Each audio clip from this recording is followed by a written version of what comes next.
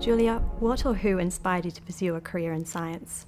Well, I'm not sure at what point I decided I was having a career in science. That's always a question. Um, I decided to study physics at university, which was probably the big decision, because I had had an extremely good physics teacher, which is so often the case. And the science that I'd learnt before that had been chemistry and biology. And I found it extremely boring because nobody ever answered any question why. I mean, there weren't particularly good teachers. And then a physics teacher arrived, and she was brilliant. She was very young, not much older than me, and she could always explain something. So physics became very exciting, and I just decided it was a subject I liked and I was going to study it. Now, at some point after that, that developed into a career, but it, it wasn't a big, I am going to be a